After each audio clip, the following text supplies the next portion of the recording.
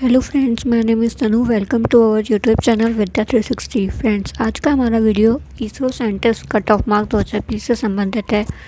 Video की तरफ़ बढ़ने से पहले अगर आप सभी ने चैनल को सब्सक्राइब नहीं किया है तो नीचे दिए गए बेल आइकन को दबाकर चैनल को सब्सक्राइब ज़रूर कर ले, ताकि सभी वीडियोस आपको जल्दी से जल्दी मिल सके। बढ़ते हैं हमारे वीडियो की तरफ़। जैसे कि Indian space research organisation department ने 12 जनवरी 2020 को कुल तीन सौ बहत्तर साइंटिस्ट, इंजीनियर जिसमें के discipline electrical mechanical computer science की पोस्ट के लिए एग्जामिनेशन कंडक्ट करवाया था। डिपार्टमेंट ने एग्जामिनेशन 12 जनवरी 2020 को कंडक्ट करवाया था। उस अकॉर्डिंग डिपार्टमेंट जो है, इसके रिज़ल्ट फरवरी या मार्च 2020 तक डिक्लेयर कर देगा।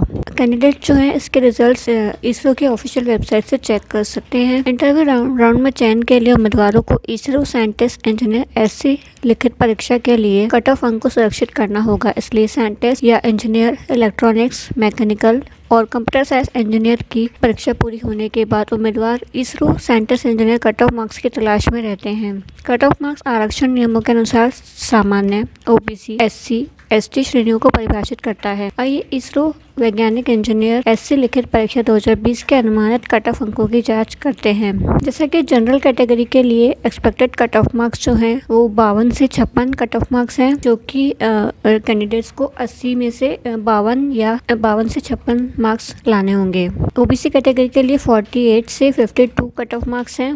एससी कैटेगरी के लिए 43 से 47 कट ऑफ़ मार्क्स है। वहीं एसटी कैटेगरी के लिए 40 से 43 परसेंट कट ऑफ़ मार्क्स हैं। फ्रेंड्स अगर आप सभी को हमारा ये वीडियो पसंद आया तो उसे लाइक एंड शेयर करना ना भूलें। धन्यवाद।